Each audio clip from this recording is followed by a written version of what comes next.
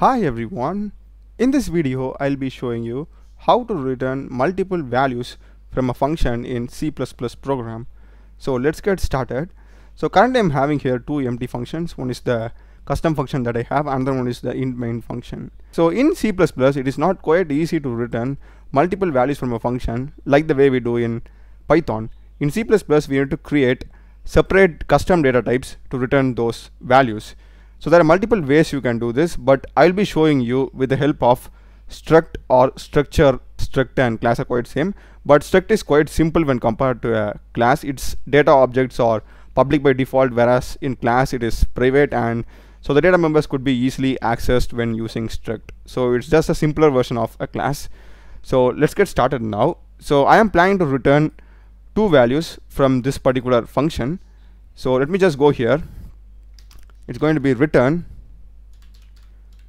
and uh, within curly brackets we need to specify our values okay?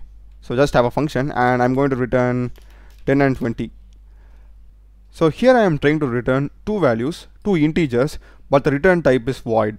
So to overcome this problem we need to create a custom data type and that is what we are going to do with the help of structure. So for doing that just go to the top. It's going to be small s struct and here you need to specify the name of your custom data type and this can be literally anything. So for our use case I'm going to give it as values.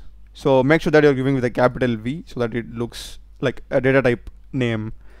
So after this uh, come to the end open curly brackets and inside this we need to specify the variables with the data type that we are returning. So here I'm returning two integers. So I will just have here int variable 1 int variable 2 so now we are done with our structure implementation and you must also note that you need to have here curly bracket okay? You can't return it without a curly bracket. And now it's throwing us an error because the type is void. So we just need to replace the type with our own custom data type which is values. Just go here and type it as values. So it still throws us an error because we need to have a semicolon at the end of structure. So now it goes off so now we are done. So now we need to just call this function. So just go inside your main function and we just need to have another variable also of our custom type values. So it's going to be values. I will just have a function variable something like this equal to here we need to call our function just get values just put it here that's it so now let us see how we can access this values okay so let me just have here two variables int a equal to so we will be accessing with the help of this variable that we have initialized over here. It's going to be this variable name dot the name that we have given in our structure. So it's going to be v1 that's it.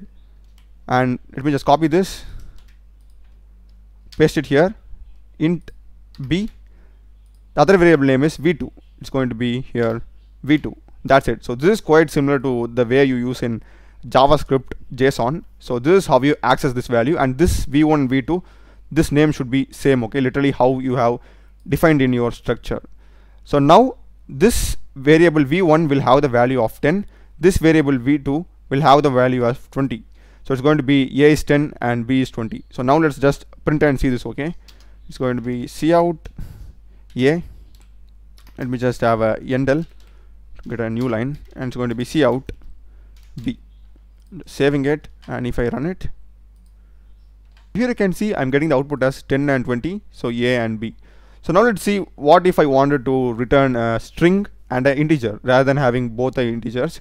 So I'll just go here and have it as str just a random string okay?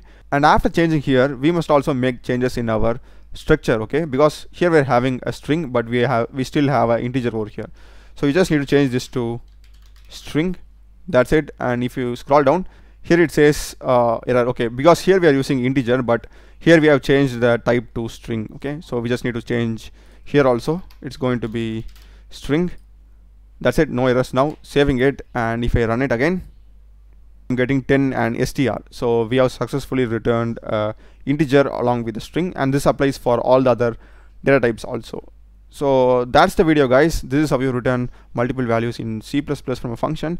If you have any, any better ways you can just comment it down. So do check the playlist of my channel. Done a lot of videos in programming and ai subscribe me. Thanks for watching